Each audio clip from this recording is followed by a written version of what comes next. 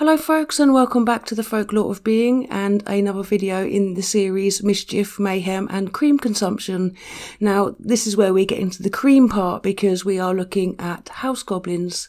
So what about the goblins that make our house their home? They're, as you can predict, varied in their shapes, sizes and tempers, but they all share one thing in common. They're the most diligent and hard-working creatures in the scale of goblindom. They're modest and moral and expect graciousness and respect, but they can turn mean if slighted. Goblins can be, as you know from previous videos, troublesome and childlike, but mostly domestic goblins are ones that are usually kind and helpful. They will work hard for a household and protect it by keeping watch over it, or charming the household with skilled spells. In return, they expect a modest reward that is given subtly and discreetly so as not to offend them. But they can turn mean by being spoiled or upset by the household.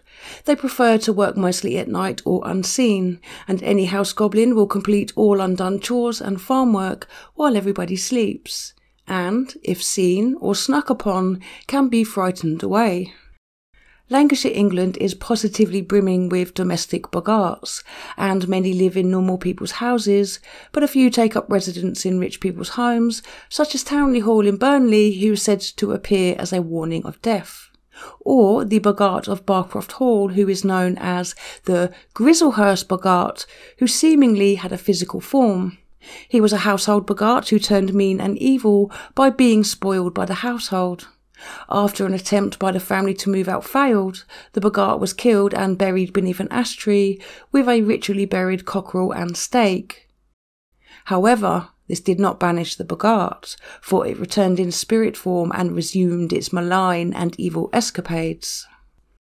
Another Boggart who haunted Hothersall Hall near Ribchester was red down into the roots beneath a laurel tree, and milk is often poured over the roots to keep the Boggart laid. Laid is a form of exorcism where a spirit creature can be forced into an object such as a box, a cupboard, or even a clock pendulum. Another much friendlier but still precocious Boggart lived on a Yorkshire farm known as Castle Farm. This particular Boggart was an inherited goblin. He had lived there for many, many generations of the farmer's family and was well loved as a bristly but hard-working member of the family. In return for farming duties, animal husbandry, and household chores, the Boggart was given nightly by the farmer's wife a bowl of cream. For the farmer's wife, who loved the Boggart as much as the farmer did, wanted the Boggart to have a nice reward for all his hard work. This was the life that the farmer, his wife, and the Boggart lived, until the farmer and his wife passed and the son took over.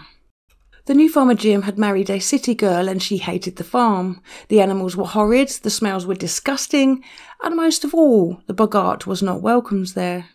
She refused the Boggart his nightly bowl of cream and gave the goblin skim milk. The next day the milk was gone, but the Boggart had done nothing in return for its payment. Though the Boggart's presence in the farmhouse had become spiky and thunderous, it kept itself out of sight and simply made things feel uncomfortable for all. Trying to convince his wife to give the Boggart his long-time dues bore no result, and in fact, the wife became more spiteful. That night, she put down spoiled milk for the Boggart. Now, the country born wife would have known not to tangle with the spirits, servant like or not, but this city born wife, in her stubborn ignorance, had declared war on a much more proficient and malignant enemy. From that day forwards, the battles had begun, and the Boggart upset the household in as many ways as it could. It snatched food away from the hungry, or spent days upturning the house, and it bit and scratched at the wife. After enduring the Boggart's torments for some time, the farmer and his wife quietly conspired to flit, that is, a Yorkshire term to pack up and suddenly leave. But how do you do this without alerting the Boggart? Well, they made a great show of pretending they're packing and boxing up of their home into the horse and cart was simply a spring clean. And though they could feel the Boggart's disbelieving air, it gave them no bother. But when a neighbour came along and exclaimed, You're never flitting, and a scratchy voice came from the milk pail saying, That's right, Gregory, we're flitting, The farmer gave in and accepted that the Boggart was his, and everything was put back into the house, and the Boggart got his nightly bowl of cream again, and everything returned to normal at Castle Farm. A hob is a helpful spirit who looks after children and could cure whooping cough. A method up north to conjure the hob for healing was to chant, Hob ho hob, hob ho hob, my bairn's got kink cough, take it off, take it off. Like many of the other house goblins I will describe, the Hob are hard-working creatures who would take care of the household, farm, or children, and all they ask for in return is a little bread and a little cream to be left out for them as reward for their work. If you leave something like clothing, they will take offence and leave. However, some Hobs can be evil. A nasty hob haunted the road between Hurworth and Neasham near Darlington. He was eventually exorcised and put underneath a large stone for 100 years, and anyone who sat on that stone was said to become trapped beneath it. Another goblin named Hob haunted the rivers of Yorkshire. He is thought to be the spirit of a horseman who had drowned. He confuses travellers by darkening roads, removing signposts, and placing obstacles in their paths.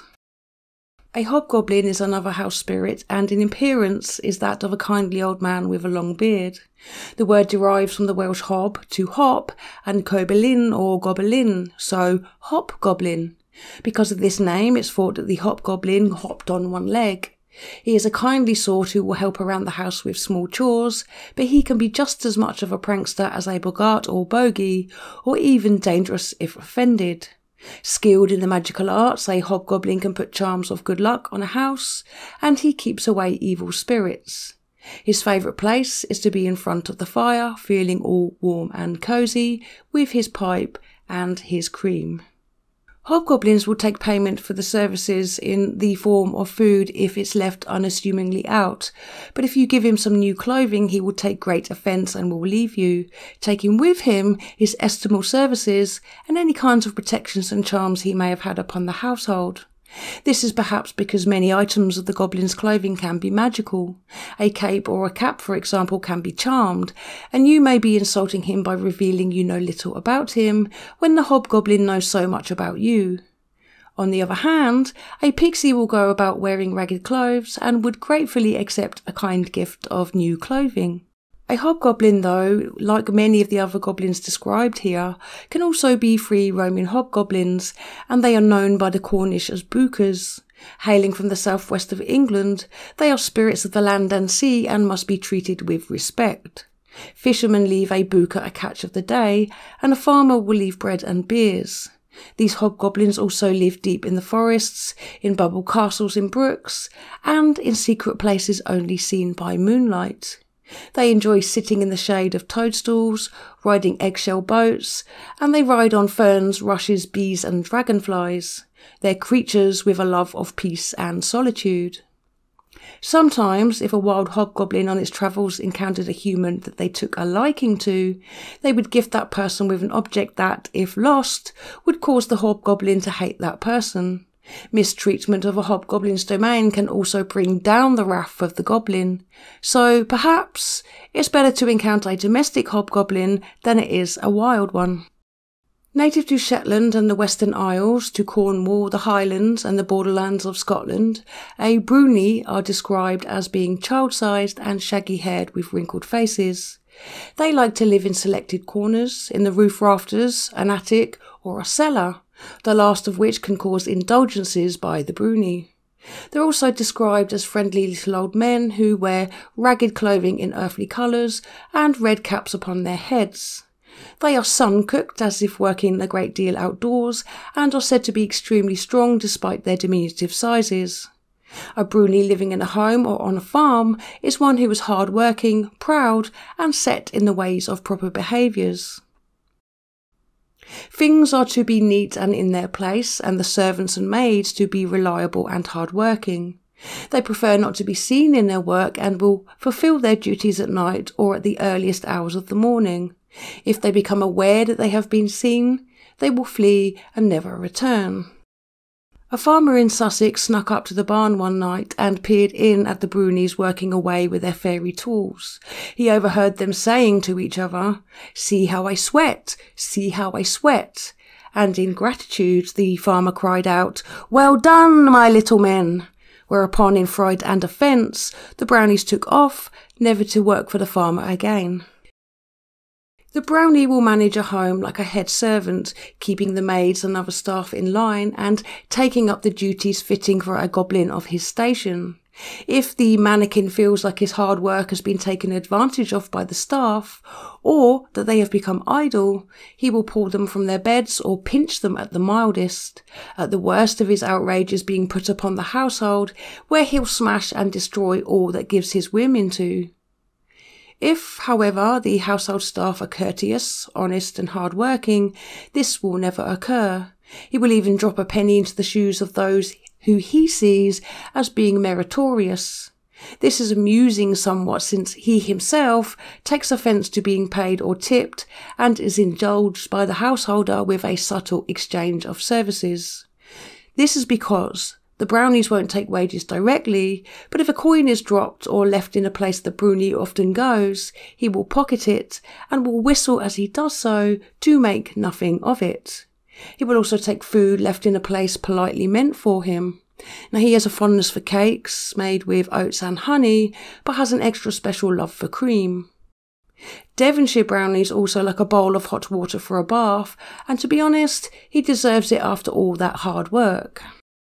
A brownie can be become dazzled by luxury if you leave out too many goodies, and he can become as lax as the maids he pinches. It's a good idea not to offer a brownie fine new clothing, because this can cause the goblin to become vain and abandon a life of service for one of dandiness, leaving the poor household staff to pick up the brownie slack. Or it may simply offend the brownie and cause him to leave shouting, What have we here? Hempen hampen, here I will never tread nor stampen. Now, not all goblins are created equal when it comes to having grey matter in one's skull, and there is a contingent of the brownie sort who are a rather chaotic bunch. Dobies are these brownies, and they're to be found in England and Scotland. These brownies are good and simple natured. They're well meaning but too gentle and inept at whatever they try their hands at. So, if entrusted to guard treasure, they will be easily talked or tricked into giving it over. If trying to help with the house or farm, they will spill milk, ruin crops, or break equipment. A silky is a female version of a bruni. They dress in silk dresses and are very dainty. They keep servants in line and do household chores. They are thought to be the spirits of women who live nearby and are messengers for finding treasure or documents. Once their work is done or the message given, the silky will depart. They sometimes like to sit in trees and rustle their silk dresses in the winds. The Bwbach is a Welsh version of the brownie and it shares the same qualities of being as the brownies in a love of service and good order, but they seem to have a dislike for priests. One Bwbach terrorized a minister as he tried to pray, pulling away his stool and disrupting the household, before finally materializing in the form of the minister himself, who, seeing this apparition, took it for the death omen it's believed to be and fled in terror. Another goblin from Wales is the Bwca, who, like the Brunies above, likes to be household spirits, but these ones are often transient and will move from household to household. Described as dark skinned with long noses and dressed in shabby farmer clothes, these goblins have no love for non drinkers and will often haunt pubs and inns. Like most household goblins, he works diligently at household chores and like to be rewarded with bread, cream, cake, and milk. One story of a Bwca recounts when one day his favourite member of the household, a young maid, in a moment of impishness, instead put down some urine meant for dyeing cloth. When the Bwca came to get his reward and instead found a bowl of fermented wee wee, he became upset. After much remonstration and insults towards her, he moved in with a servant girl from another farm who gave him his bread and milk as he pleased and, in return, he resumed his duties of household work. Now, this is where the story moves into Rumpelstiltskin territory, as the maid, though happy with her goblin helper, was curious about his name and kept asking. But the goblin was not about to give away his name to someone who could use it in magic, so he refused. But one day, the goblin, thinking the servant girl gone, went about his work singing, How she would laugh if only she knew Gwarwyn of Throt is my name.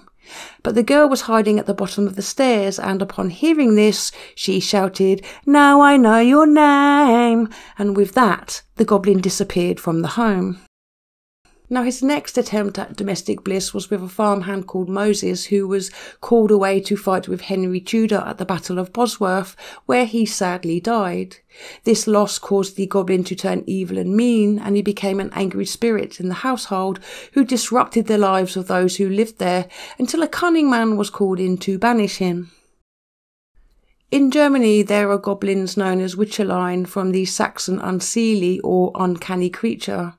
As house spirits, they live behind walls and under floors. They are said to be friendly and hard working, but grotesquely ugly.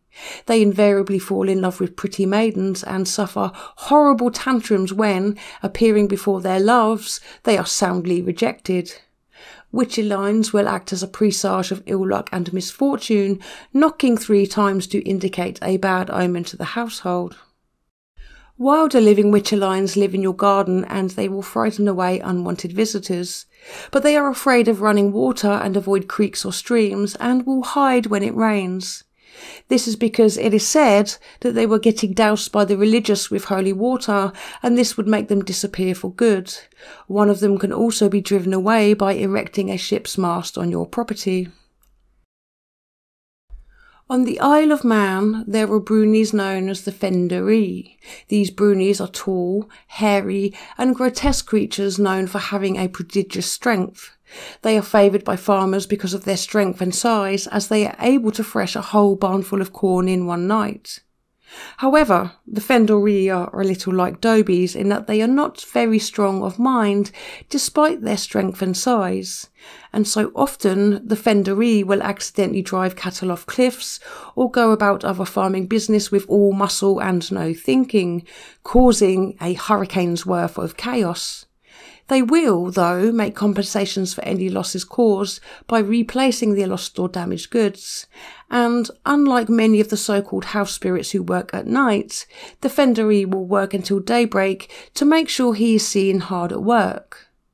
He too has his own mischievous side, and if he offered you his hand to shake, you should replace it with something else or politely decline, because he's trying to crush your hand with his beefcake ones. And like many of the brunies, offers of rewards will insult, and clothing offered in one case caused the Fenderii to put a curse on the family for every item of clothing offered. Lob lie by the fire are bruni like creatures who have long tails. In some descriptions, they're about thumb size with an antiquated face and patchwork clothing. Not particularly bright and a little clumsy, they are nevertheless quite strong. They're suited to farm work and mostly work at threshing and mowing of corn. They work at an inhuman pace and can get the work of ten men finished in a night. They, like brunies, prefer to work at night time and will spend the day snoozing by the hearth fire. In return for their work, they too get paid in milk or cream. In Elizabethan times, they were known as lubberkins, and in one of Milton's poems, he describes them as a lubber fiend. Tells how the drudging goblin sweat to earn his cream bowl duly set, when in one night, ere glimpse of morn, his shadowy flail has threshed the corn that ten day labourers could not end, then lies him down the lubber fend, and stretched out all the chimney's length, basks at the fire his hairy strength, and cropful out of doors he flings, ere the first cock his mating rings. Another aspect of the lob is that of an abbey goblin. These are seen as demonic creatures who haunt the abbey wine cellars and tempt the monks to ill behaviour. In Ireland and the Highlands of Scotland, there are the Gurach, who are described as being small, hairy, and stocky creatures with great strength and a diligent work ethic. The Ulster Gurachs are described as being four foot tall and appearing boneless as they roll down the hills like sausages. The Highland goblins are either richly dressed or described as being naked and hairy, like most Scots. Sorry, Dad. One such naked and hairy Gurach had pity taken on him and clothing was offered to him, at which point the Gurach, upset, left the farm. And so here ends our tales of household goblins, and I hope that you have yourself a household goblin that can help you with the household chores, but uh, if you don't put food out, perhaps they're raiding your fridge at night anyway, and you're blaming the kids or the husband or the boyfriend. So maybe you're lucky enough to have a house goblin. I think I don't because nothing ever gets done here, including by me because I'm lazy. So I actually could do with a goblin.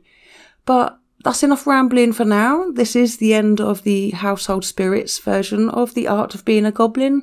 And I will say thank you for listening, for watching, and I hope to see you in the next video. And if you enjoyed this one, drop a little like for me to help the channel out. And I will say goodbye for now and see you in the next video.